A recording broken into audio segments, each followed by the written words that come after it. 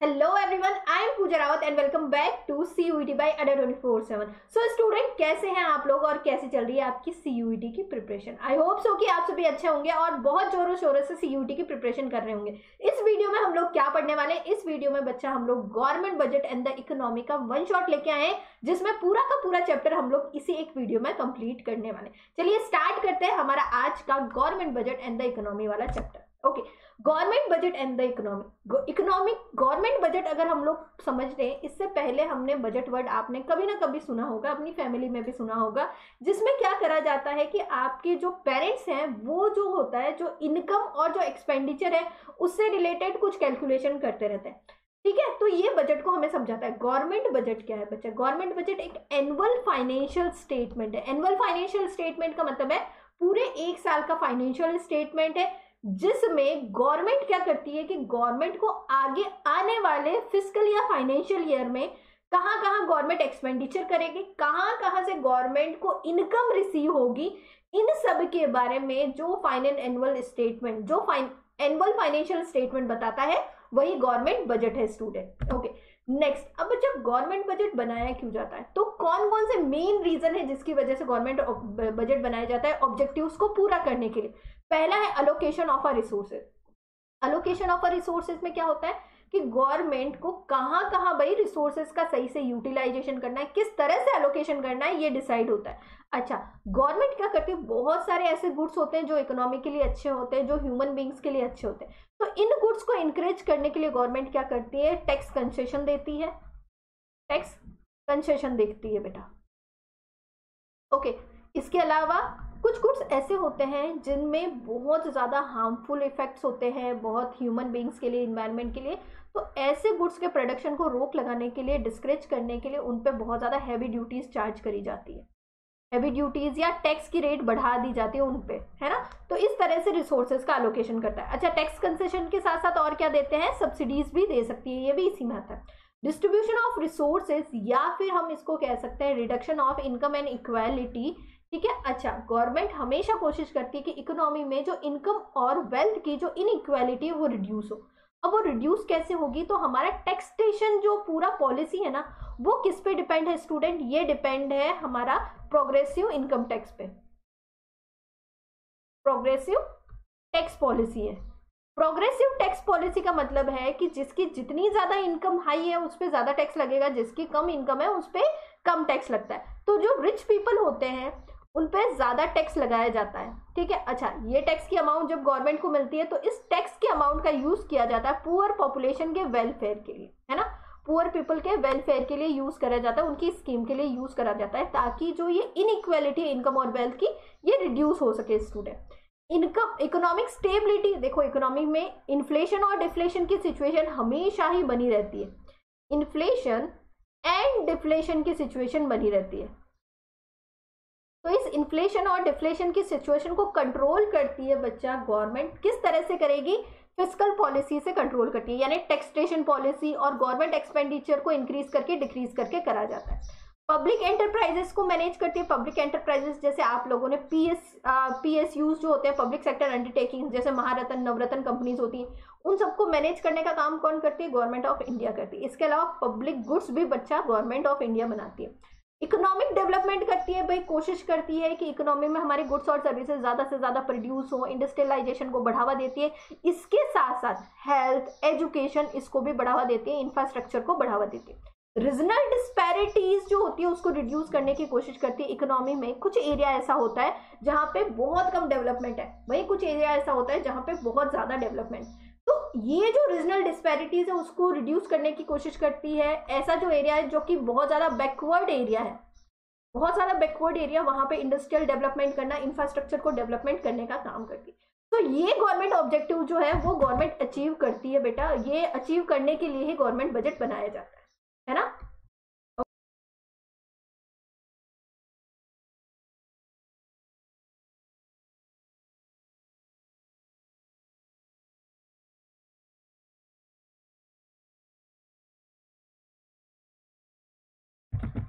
Public goods जो होते हैं, वो नॉन रिवाइवलरी और नॉन एक्सक्लूडेबल इन नेचर होते हैं। नॉन रिवाइवलरी और नॉन एक्सक्लूडेबल लेवल का मतलब है कि कोई भी पर्सन अगर इन गुड्स का यूज़ करता है तो इसका मतलब ये है कि ये गुड्स किसी और के लिए खत्म नहीं होंगे, है ना? जैसे कि अगर हम लोग किसी रेल की बात करें ट्रेन में अपन जाते हैं बसेस में अगर हम जाते हैं तो सब लोग कलेक्टिवली यूज़ कर सकते हैं। किसी एक स्पेसिफिक पर्सन के लिए वो गुड्स नहीं बने, है ना? सब कलेक्टिवली यूज़ कर सकते हैं। तो ये जो गुड्स होते हैं पब्लिक गुड्स होते हैं नॉन रिवाइबलरी और नॉन एक्सक्लूडेबल जैसे पब्लिक पार्क हो गया, जैसे बसेस हो गई रेलवेज हो गए, जो आपका म्यूज़ियम हो गया थिएटर्स हो गए, ये सब हमारे किसमें आते हैं? पब्लिक गुड्स में आते हैं। पब्लिक गुड्स क्या गवर्नमेंट ही बना सकती है? ऐसा कोई ज़रूरी नहीं है। गवर्नमेंट प्लस प्राइवेट सेक्टर दोनों बना सकते हैं। है ना? जैसे रोड्स वगैरह प्राइवेट सेक्टर भी बनाता है एज वेल एज गवर्नमेंट भी बना सकती है है ना? तो ऐसा कोई कंपलसरी नहीं है कि सिर्फ़ और सिर्फ़ गवर्नमेंट ही बनाएगी। नेक्स्ट अब हम लोग टाइप ऑफ़ बजट के बारे में बात करेंगे तो कितने टाइप के हमें बजट देखने को मिलते हैं स्टूडेंट जनरली हमें दो टाइप के बजट देखने को मिलते हैं ना? एक सेकेंड आपको दिख नहीं रहा होगा? हाँ। जनरली दो टाइप के हमें बजट देखने को मिलते हैं, एक रेवेन्यू बजट होता है, एक कैपिटल बजट होता है। रेवेन्यू बजट के टू पार्ट्स होते हैं रेवेन्यू रिसीट और रेवेन्यू एक्सपेंडिचर कैपिटल बजट के भी टू पार्ट्स होते हैं कैपिटल रिसीट और capital expenditure okay ma'am revenue budget जो है, वो क्या बताता है बच्चा? गवर्नमेंट का एस्टिमेटेड रेवेन्यू रिसीट और गवर्नमेंट का एस्टिमेटेड रेवेन्यू एक्सपेंडिचर जो आने वाले फ़िज़िकल ईयर में होने वाला है, उसी का स्टेटमेंट जो है रेवेन्यू बजट बताता है। Okay okay. अब मैम रेवेन्यू रिसीट क्या होता है?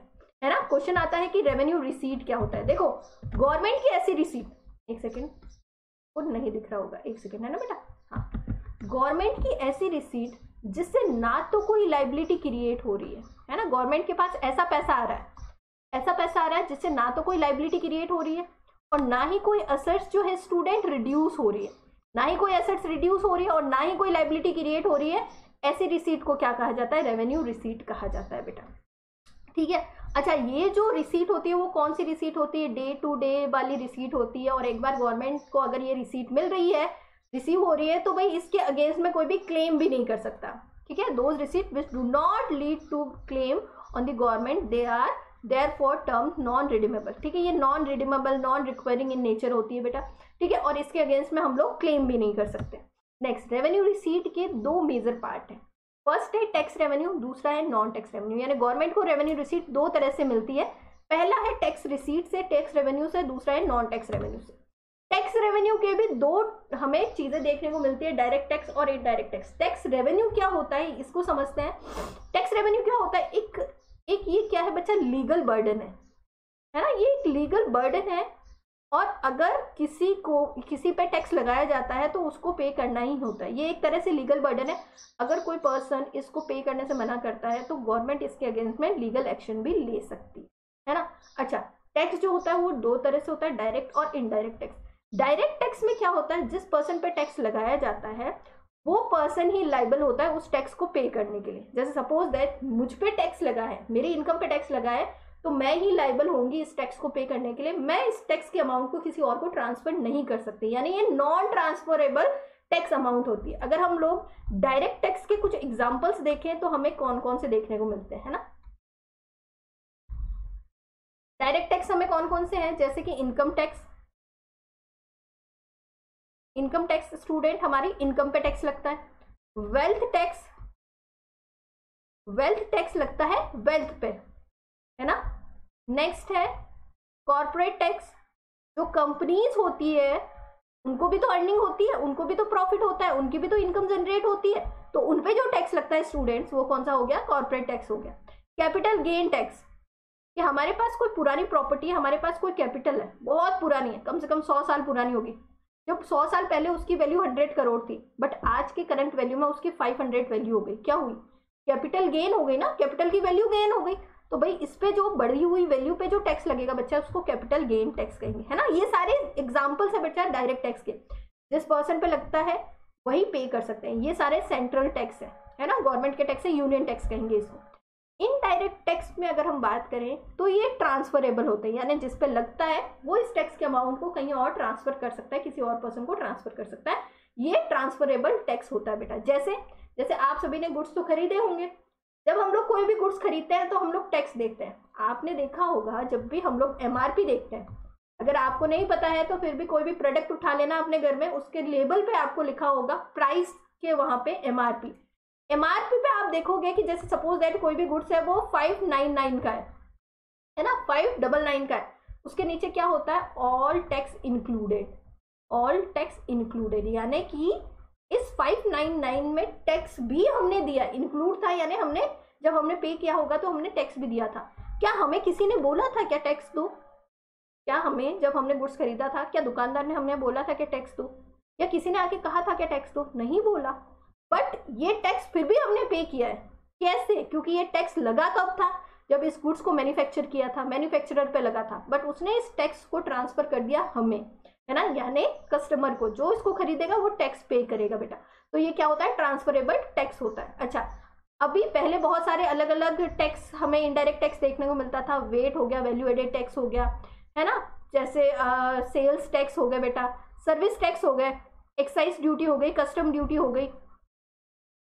एक्साइज ड्यूटी कस्टम ड्यूटी ये सारे किसमें आते हैं? इनडायरेक्ट टैक्स में आते हैं। अच्छा इन सब की जगह, अब एक ही टैक्स रह गया है जिसको हम लोग क्या कहते हैं? Goods and service tax goods and service tax goods and service tax अच्छा कब आया था? 2017 में आया था, याद रखना।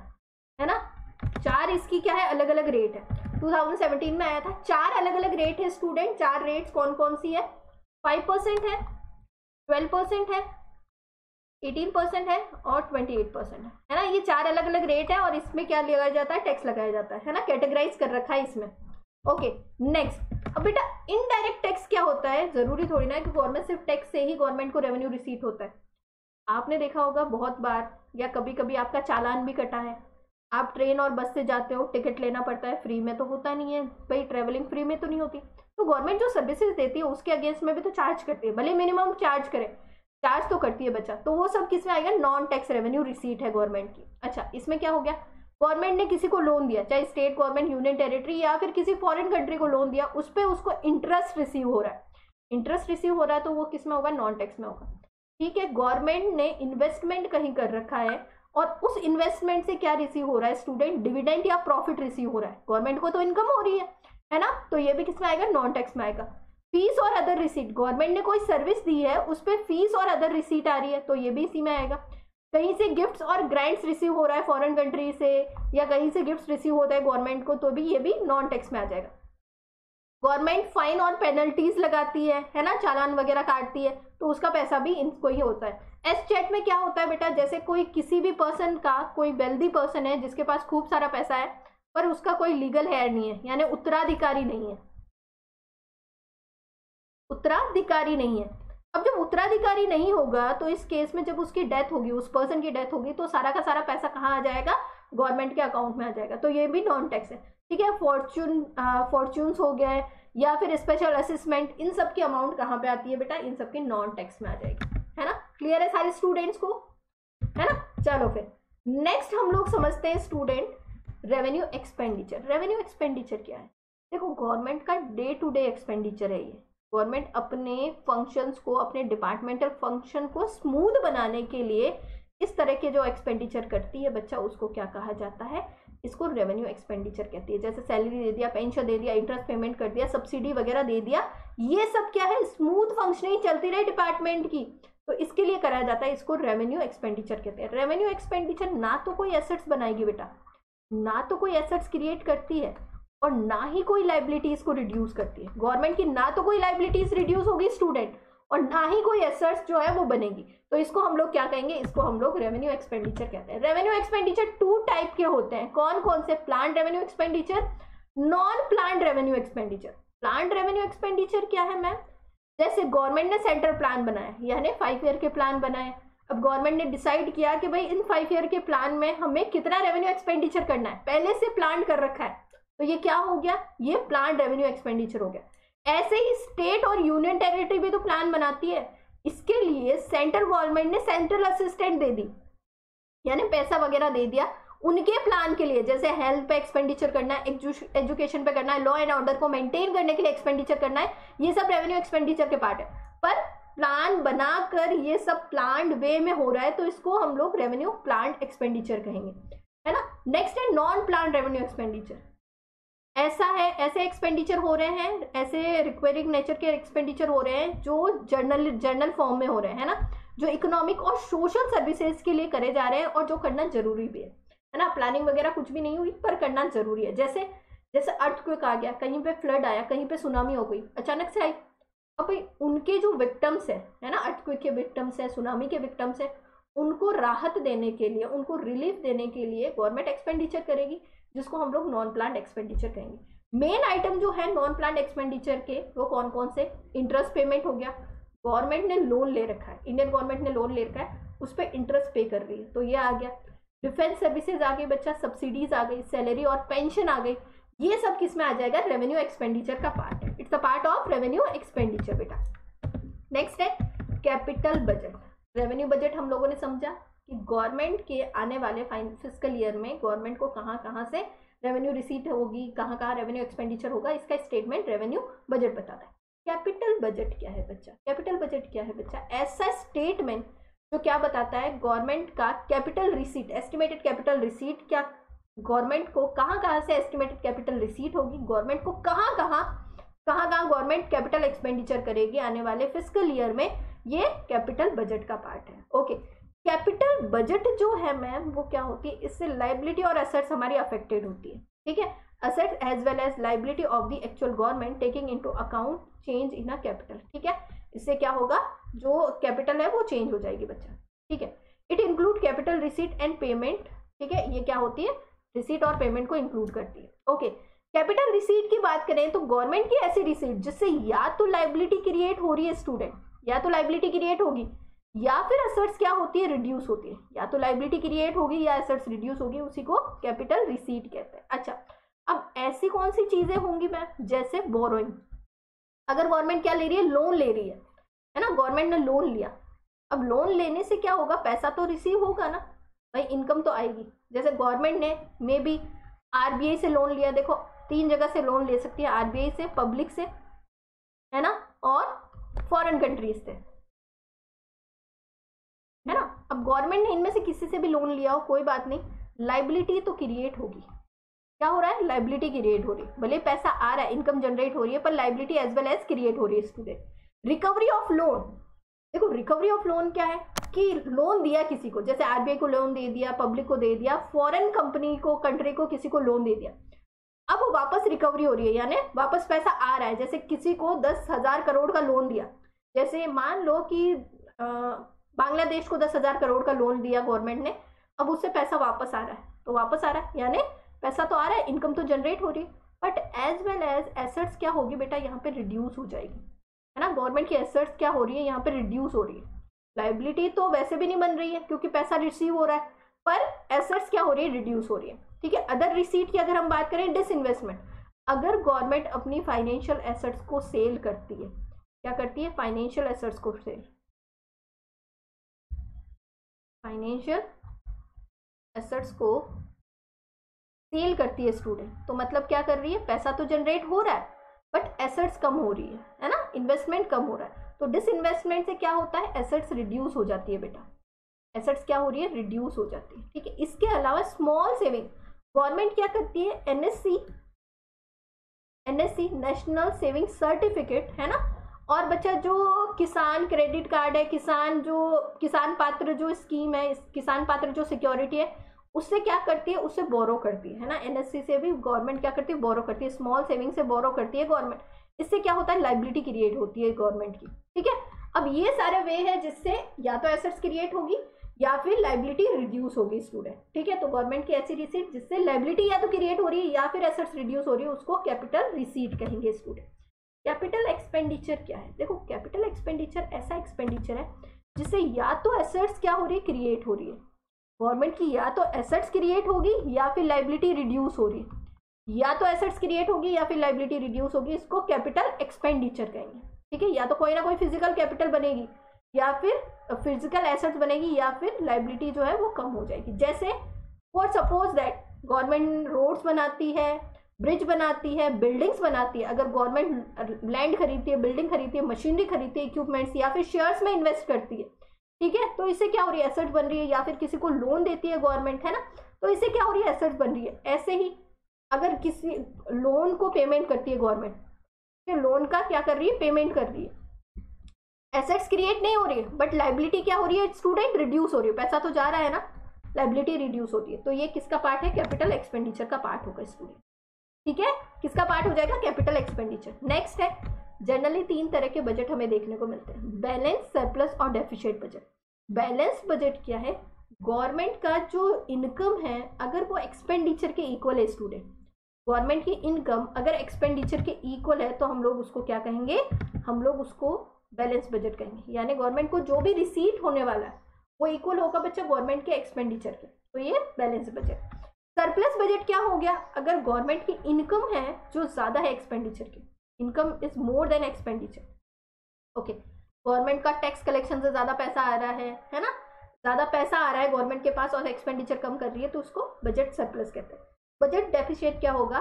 जब गवर्नमेंट का एक्सपेंडिचर जो है रेवेन्यू से ज़्यादा है, ठीक है? Expenditure is more than receipt income more than income expenditure जो है इनकम से ज़्यादा है, उसको डेफिशिएट बजट कहते हैं।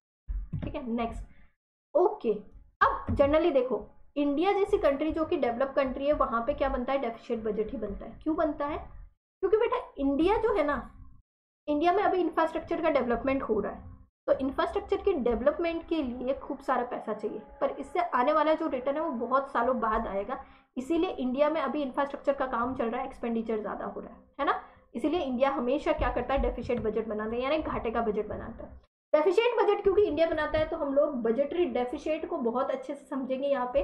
बजटरी डेफिशिएट जो है, वो तीन टाइप का हमें देखने को मिलता है। रेवेन्यू डेफिशिएट फ़िज़िकल डेफिशिएट और प्राइमरी डेफिशिएट रेवेन्यू डेफिशिएट क्या होता है स्टूडेंट देखो रेवेन्यू डेफिशिएट में क्या होता है? गवर्नमेंट का जो रेवेन्यू एक्सपेंडिचर है, वो ज़्यादा होता है रेवेन्यू रिसीट से, है ना? Revenue expenditure is more than revenue receipt इसी को हम लोग रेवेन्यू डेफिशिएट कहते हैं। रेवेन्यू एक्सपेंडिचर में क्या क्या आएगा और रेवेन्यू रिसीट में क्या क्या आएगा? बच्चा, हम ऑलरेडी पढ़ चुके हैं। आप भी ढंग से इनको याद कर लेना, है ना? रेवेन्यू एक्सपेंडिचर में से रेवेन्यू रिसीट को माइनस कर दो, आपका रेवेन्यू डेफिशिएट आ जाएगा। रेवेन्यू डेफिशिएट अगर आता है तो ये क्या बताता है बच्चा?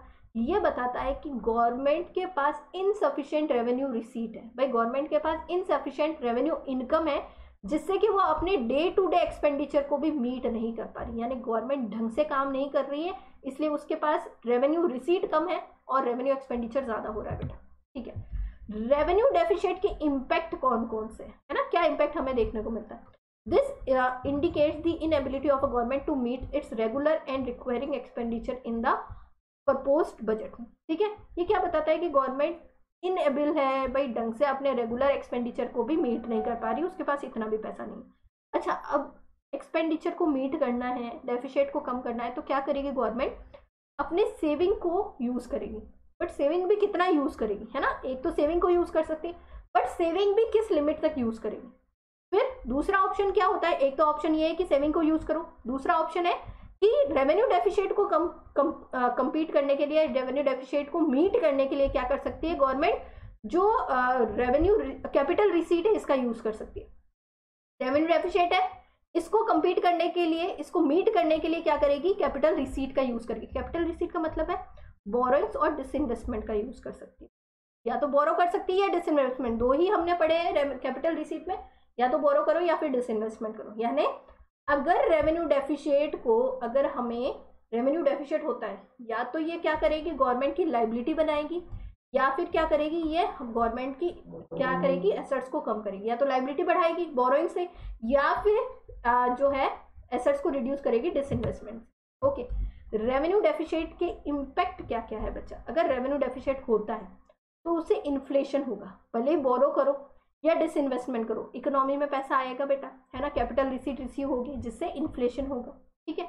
और हाई रेवेन्यू डेफिशिएट है ना, ये एक वार्निंग सिग्नल है गवर्नमेंट की कि ढंग से अपने रेवेन्यू को यूज़ करो, अपने एक्सपेंडिचर को ढंग से मैनेज करो।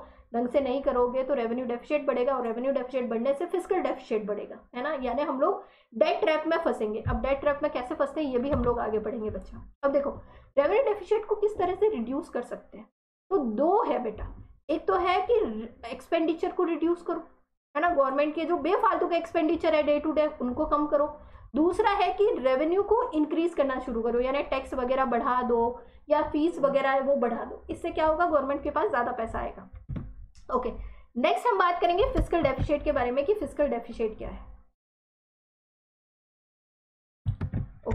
फ़िज़िकल डेफिशिएट हमें क्या देता है? थोड़ा मोर कॉम्प्रिहेंसिव व्यू देता है बजट बजट इनबैलेंस का। यानी जो बजटरी इनबैलेंस हो रखा है है ना? उसका थोड़ा वाइडर व्यू देता है बच्चा फ़िज़िकल डेफिशिएट क्यों मैम क्योंकि इसमें सारे टोटल एक्सपेंडिचर और टोटल रिसीट जो है, वो आ जाते हैं। अच्छा अगर हम बात करें फ़िज़िकल डेफिशिएट किस तरह से कैलकुलेट होगा? बहुत सिंपल है।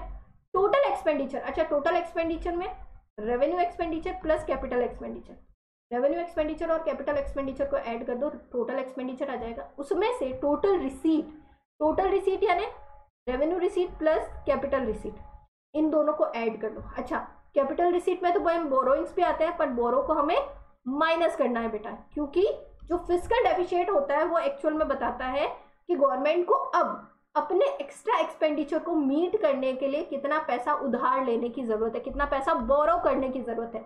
इसलिए जनरली ये भी कहा जाता है physical deficit is equal to borrow है ना? कि फ़िज़िकल डेफिशिट क्या होगा? बोरोइंग्स के इक्वल होगा स्टूडेंट नेक्स्ट अब देखो फ़िज़िकल डेफिशिएट पहले हम लोग ये पढ़ लेते हैं कि फ़िज़िकल डेफिशिएट को हम लोग कहाँ से पूरा करेंगे, ठीक है? फ़िज़िकल डेफिशिएट के लिए पैसा कहाँ से आएगा? पहला हम कर सकते हैं बोरो करके यानी उधार लेके कर सकते हैं गवर्नमेंट उधार ले सकती है आरबीआई से ले लो पब्लिक से ले लो, या फिर फॉरेन कंट्रीज़ से ले लो।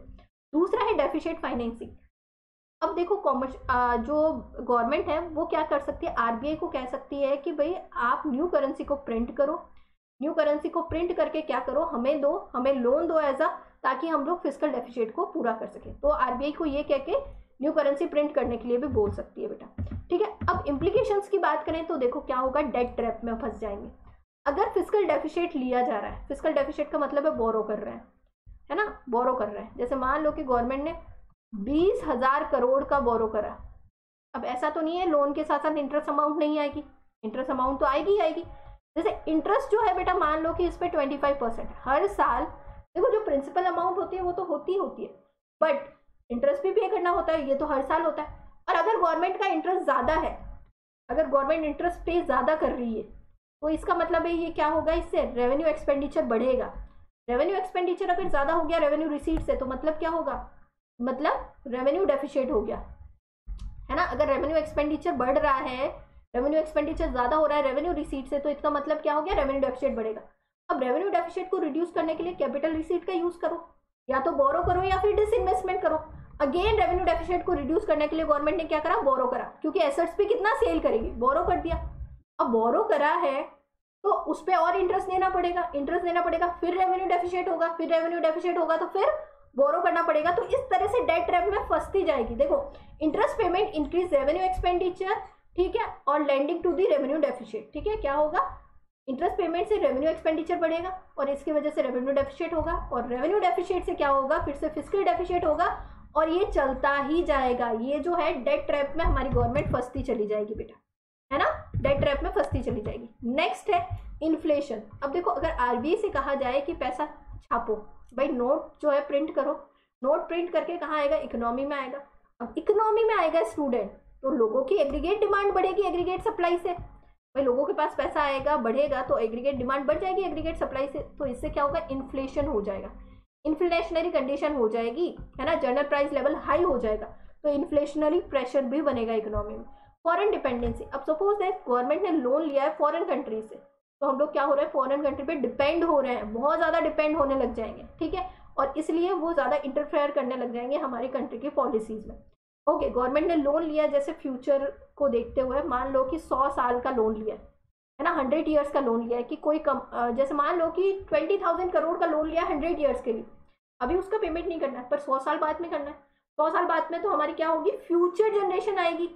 अब फ्यूचर जनरेशन भाई उस टाइम पे करेगी गवर्नमेंट तो उस टाइम जो जो ट्वेंटी थाउज़ेंड करोड़ उनके डेवलपमेंट में लग सकता था ग्रोथ में लग सकता था, वो गवर्नमेंट अब सिर्फ़ लोन चुकाने में लगा रही है। तो फ्यूचर ग्रोथ के लिए फ्यूचर जनरेशन के लिए ये क्या हो जाएगी? हर्डल हो जाएगी बेटा।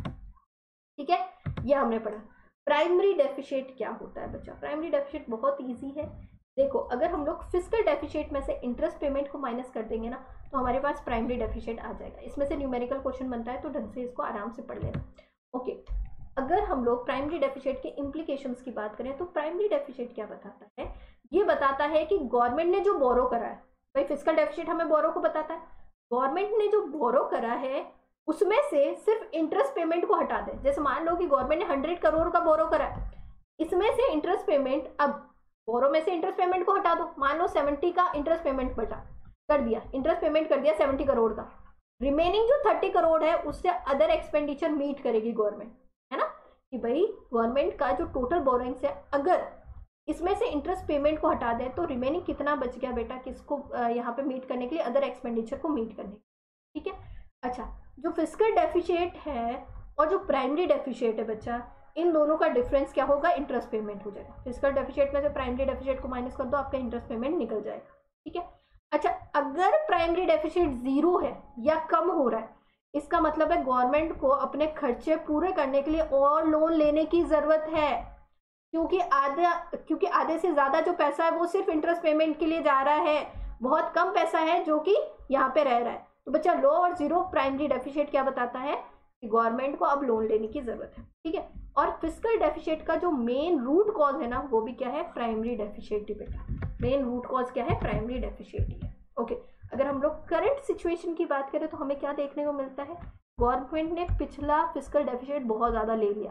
गवर्नमेंट ने पिछला डेफिशिएट बहुत ज़्यादा है तो गवर्नमेंट उसमें इंटरेस्ट पेमेंट भी ज़्यादा कर रही है, यानी रेवेन्यू डेफिशिएट और और फ़िज़िकल डेफिशिएट दोनों ही बढ़े हुए हैं। सोल्यूशन क्या है भाई फ़िज़िकल डेफिशिएट को कम करने का? इंटरेस्ट पेमेंट कम करो। इंटरेस्ट पेमेंट कम कैसे करेंगे? जल्दी से जल्दी लोन का रीपे करके बेटा। ठीक है? तो इस तरह से कर सकते हैं। ठीक है? तो आज हमने गवर्नमेंट बजट वाला चैप्टर कंप्लीट करा। आई होप सो कि आपको समझ में आया होगा। अच्छा लगा है वीडियो तो लाइक करना शेयर करना और बच्चा सब्सक्राइब करना चैनल इसके अलावा संभव बैच बच्चा निकला हुआ है आप सभी के लिए। संभव बैच बनाया हुआ है आपके असंभव जो सपना है। उसको पूरा करने के लिए संभव बैच बनाया गया है, जिसमें आपकी तीनों ही सेक्शन की तैयारी होगी सेक्शन वन यानी लैंग्वेज की सेक्शन टू डोमेन की सेक्शन थ्री आपकी बच्चा जीटी की। ये संभव बैच बच्चा, आप मैक्सिमम टू मैक्सिमम डिस्काउंट आपको मिलेगा जब आप कोड यूज़ करोगे वाई फोर नाइन ज़ीरो देखो, तीन मई से सेशन स्टार्ट हो रहा है, तीन मई से आपकी क्लासेस स्टार्ट हो रही है टिल एग्ज़ाम तक चलेगी आपकी तो फटाफट से जाके इनरोल हो जाओ संभव बैच में। ठीक है? चलिए, मिलते हैं नेक्स्ट वीडियो में, तब तक के बाय टू ऑल अपना ख्याल रखें। Bye by two all